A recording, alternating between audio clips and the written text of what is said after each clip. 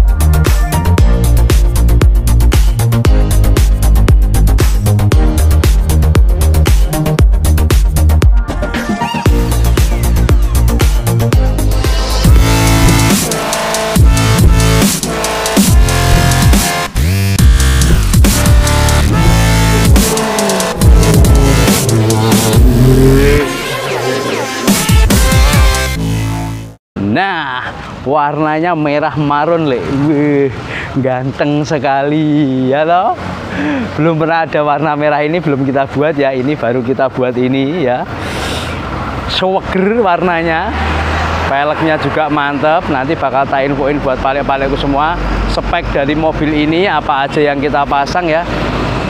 Jadi siapa tahu nanti ada pale-pale yang lagi pengen buat ataupun pengen modifikasi mobilnya dari Ford Ranger T6 jadi Raptor ini bisa jadi salah satu referensi bila paling-paling pengen berubah bentuk seperti itu.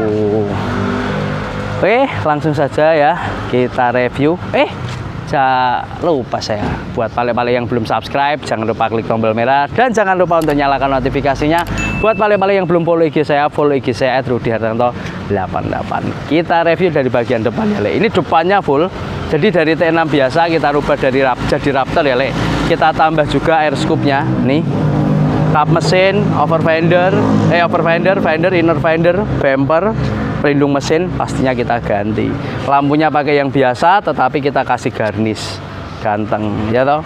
Kalau pakai lampu yang Mustang pakai garnish tuh nanti ada bagian uh, putihnya sini yang ketutup sama garnish. Tapi kalau pakai lampu ini mantap seperti itu. Nah terus untuk pelek peleknya ini pakai ASR ya ring 20 celong 12 in ya. Oke bannya ini pakai 35 kali 12 setengah jadi emang sesuai sekali. Jadi kalau paling pengen buat Raptor kalau pakai ban ini ini pas sekali. Nggak perlu tambah adaptor. Tapi kalau pengen lebih ekstrim ya tetap kita kasih adaptor bannya bisa keluar. Kokoh. Gitu. terus Footstep ya. Footstepnya ini pakai punya XLS ya 2015 terus sudah pakai ini apa namanya? Talang air hammer juga kita kasih. Nah ini mobilnya Kalimantan ya Le. ini kemarin mobilnya dari kita. Jadi beliaunya langsung pesan eh, jadi seperti itu. Terus apa ini? Sudah pakai softlit juga. Bumper belakang pakai punya e track ya. Jadi cakep ganteng. Terus untuk sebelah kiri sama ya. Kita langsung masuk ke bagian interiornya le. Nah ini interior ya. Untuk kenyamanan beliau dalamnya apa yang dirubah bentuk? Eh dirubah bentuk. Dirubah pakai MBTEK premium tapi untuk depannya audio masih standar. Ini MBTEK ya. Full. Depan belakang full sampai karpet. Belakang ganti semua ya toh. Kalau ini nih masih bagus. Handle transmisi. Mobil ini kilometernya 98.000 ya. Nih ini dalamnya jadi seperti ini. Ini simple tetapi nyaman dipakai elegan juga ya itu review mobil dari Pak Armi ya ini beliaunya di Australia Oke, terima kasih monggo buat pale-paleku yang pesen ataupun pengen ngebuat modifikasi mobil seperti ini bisa langsung telepon saya di nomor 081 289 808 115. Jangan lupa untuk like and subscribe. Semangat tanpa sambat. Bedo tino, bedo cerita. Assalamualaikum warahmatullahi wabarakatuh. Kiku kiku.